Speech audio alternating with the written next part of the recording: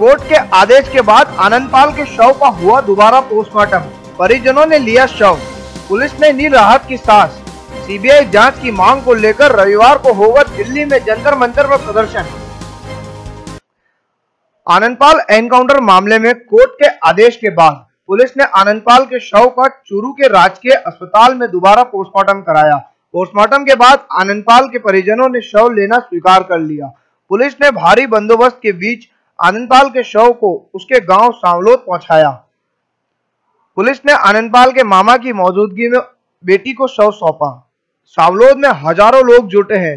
News लिखे जाने तक स्पष्ट नहीं हो पाया कि परिजन आनंदपाल का अंतिम संस्कार आज करेंगे या फिर अंतिम संस्कार रविवार को होगा। इससे पहले गाँव सावलोद में हज़ारों की संख्या में लोगों का जुटना शुरू हो गया। राजपूत समाज ने आनंदपाल एनकाउंटर के मामले में सीबीआई जाँच नहीं कराने पर सरकार के खिलाफ बड़े आंदोलन की घोषणा की है।